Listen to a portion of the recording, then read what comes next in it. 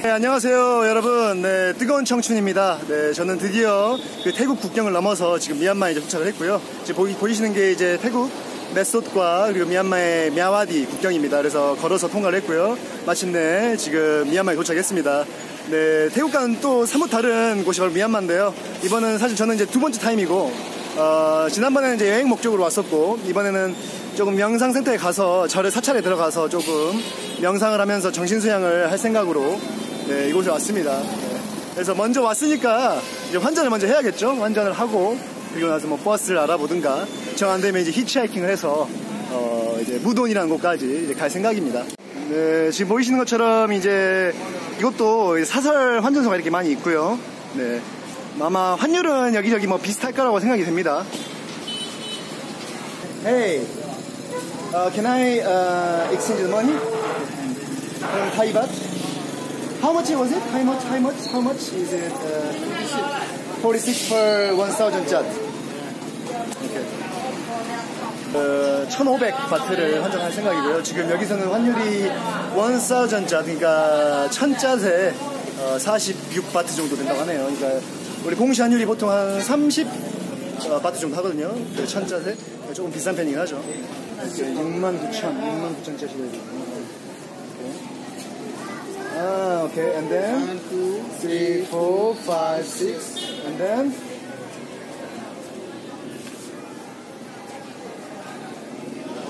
okay. thank you. So 네, 그래서 지금 1,500 바트를 바꿨고 그래서 지금 69,000 잣을 받았습니다.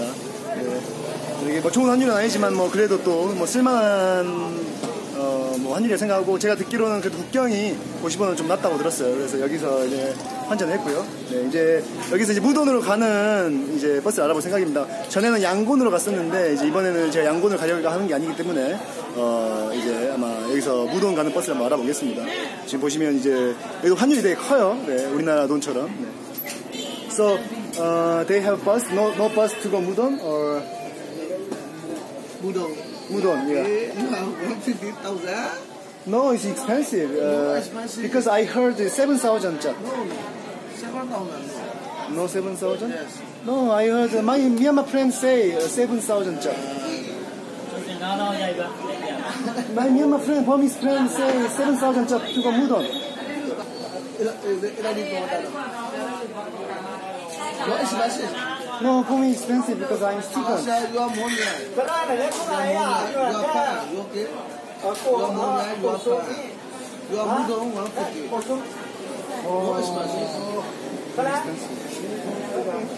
You are but you know, Yangon is 12, 12,000. Yangon is more cheaper. For Mudon. Oh, this 45. I have to, I have to give 45 people. Yeah. You are 4 people, 5 people. Uh, it's like a taxi, Yes. not bus. They don't have bus? Oh, shit, then I have to walk. Huh? I have to walk. Maybe I need to think about that. Not very expensive. I need to walk. Okay, okay. So maybe I need to think. 네, 지금 이제 앞에 보이는 차가 이제 그 무돈으로 가는 이제 그 차라고 합니다. 제가 이제 그 치앙라이 그러니까 태국 북부에서 내려왔는데 확실히 북부보다 이, 이곳이 이제 온도가 많이 높네요. 많이 덥습니다. 다시 여름을 온 느낌이라고 할까요? 그 치앙라이 쪽은 그래도 한 뭐 최저 기온이 한 15도에서 최고 기온이 한 28도 정도로 약 우리나라에 약간 좀 가을 초가을 날씨 정도 됐었거든요. 근데 여기는 조금 이제 많이 덥네요. 네. 그래서 무돈으로 가는 버스는 없고 어 이제 택시를 알아봐야 합니다. 근데 택시가 지금 알아보니까 15,000짜리라고 하네요. 그러니까 웃긴 게 지금 한 3시간 거리밖에 안 되거든요. 100km 조금 넘는 거리고 한 3시간, 4시간 정도 거리인데 15,000짜리면 우리나라 돈으로 한 그래도 한 2, 3,000원 정도 하는 거니까 좋고 저렴한 금액은 아닙니다. 왜냐면 여기서 양곤까지가 한 버스로 한 10시간 이상 되거든요. 근데 양곤까지 버스는 한 12,000짜리 해서 13,000짜리면 갈 수 있어요. 근데 이제 무동까지는 버스가 없고 택시를 타야 하기 때문에 가격이 좀 비싼 편입니다. 그래서 지금 고민이 돼요. 어, 그냥 택시를 타고 갈지 아니면 히치하이킹으로 다시 또 갈지. 근데 지금 생각은 생각보다 너무 비싸서 히치하이킹으로 지금 갈까 지금 생각하고 있습니다. 여기저기서 양곤이나 만달레이로 가는 버스들은 쉽게 어, 버스표를 구매할 수 있고 저렴한 금액으로 구매할 수가 있습니다. 네. 지난번에 저희 왔을 때도 양곤으로 갔었기 때문에 그때도 결코 이렇게 비싼 금액으로 어, 가지 나왔던 것 같아요. 그래서 아무래도 국경이다 보니까 뭐 금은속을 파는 것부터 시작해서 환전, 뭐 마, 많은 유, 그 유통 물품들이 그래서 유통이 되고 있고요. 네.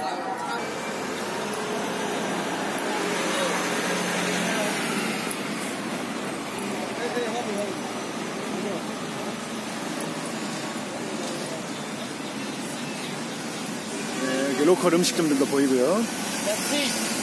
No taxi. 네, 그래서 저는 지금 이제 그 먀와디 외곽으로 걸어서 나가고 있습니다. 한 3, 4km 정도 걸어가야 돼요. 히치하이킹을 위해서. 네, 저는 이제 그냥 택시는 좀 비싸고 히치하이킹으로 그냥 무동까지 가려고 합니다. 먼 거리는 아니기 때문에 뭐 크게 뭐 어렵지 않다면 오늘 안에 도착할 수 있을 것 같아서 네. 그래서 한 3, 4km 약 1시간까지 좀 걸어가야 되거든요. 네.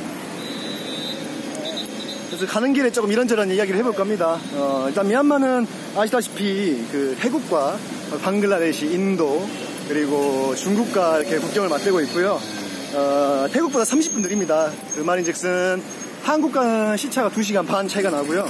제 개인적으로는 그래도 가장 그 정통 불교 국가라고 하면 저는 단연코 미얀마라고 뽑고 싶습니다. 물론 태국과 뭐 다른 동남아 국가들도 정통 불교 국가긴 하죠. 그렇지만 어, 제가 그 윗바사나 명상을 했을 때도 그렇고 가장 오래전부터 그 방식을 고스란히 보존해온 곳이 바로 미얀마고 그 다음에 미얀마를 보시면 그 다양한 그 불교에 대한 모든 걸 볼 수가 있습니다. 불교란 게 멀리 있는 게 아니라 바로 생활 속에 어, 이게 흡수되어 있기 때문에 그들의 삶이 불교고 그들의 또 일상이 불교입니다. 그래서 그 불교를 뭐 접하는 게 어렵지 않은 국가예요. 네. 정통 불교 국가라고 저는 칭하고 싶고 그래서 제가 그래서 또 명상을 하러 이곳에 온 이유이기도 합니다. 그, 어, 오죽하면 미얀마에만 명상 비자가 있겠어요. 네. 그래서 미얀마에 명상을 하러 전 세계에서 그다음에 전 세계 뭐 일반 사람들부터 시작해서 각 스님들도 미얀마로 어, 명상을 위해 올 정도로 바로 이제 이 미얀마라는 곳이 명상 그리고 불교 쪽으로는 상당히 그 인지도가 있는 국가입니다. 그래서 미얀마의 어, 간단한 인사법 제가 딱똑하지 않은데 안녕하세요는 바로 이제 맹글라바, 맹글라바라고 하고요. 그 다음에 감사합니다는 제스텐바레 이렇게 말을 합니다. 그래서 태국의 사와디캅, 코쿤캅과는 또 다른 이제 인사법이죠. 그래서 이것도 이제 태국과는 확연히 다른 그런 인사, 그 다음에 말투, 언어, 그리고 예, 등을 가지고 있습니다.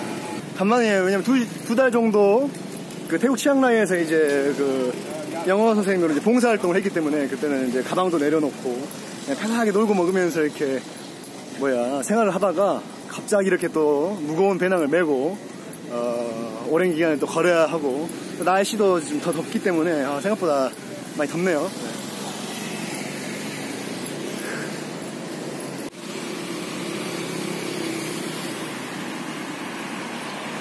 미얀마가 다른 국가와 달리 좀 가장 그 다른 특징 중에 하나가 바로 남자들도 그 론지라고 해가지고 우리나라 치면 그 긴 치마죠. 천 같은 걸로 이렇게 두르는 걸 입습니다.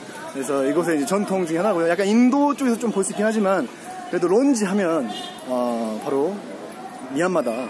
그리고 뭐 론지를 떠나서도 그 다나카라고 해가지고 자연 그 나무로 만든 이 메이크업을 또 화장을 할 수 있는 게 있거든요. 그래서 이 다나카와 그다음에 론지가 바로 이제 미얀마의 어찌 보면 가장 그 두드러진 외관상에서 볼 수 있는 가장 두드러진 특징이라고 볼 수 있습니다. 이제 이번이 그 미얀마가 처음 온 곳은 아니잖아요. 그래서 약간 지난번에 왔을 때 좀 느꼈던 것 중에 하나는 확실히 미얀마는 다른 동남아 국가에 비해서 관광객 수가 많이 적습니다. 그러니까 아직까지는 그래도 작년 10월부터 해서 일본인과 한국인에게만 지금 무비자, 그러니까 한시적 무비자라 해가지고 비자 면제를 해주고 있죠. 그래서 1년간 한국인과 일본인에 한해서만 무비자고요. 그 다음에 다른 나라 국가는 여전히 비자를 받아야 됩니다. 오기 전에. 그래서 뭐 적게는 50달러에서 많게는 80달러 이상을 또 내야 되는 그런 국가이기 때문에 아무래도 다른 국가들에 비해서 관광객이 좀 많이 적은 편입니다. 그래서 아직까지 이곳의 그 전통이라든가 그 이들만의 그 문화가 잘 고스란히 보존되어 있다고 생각해요.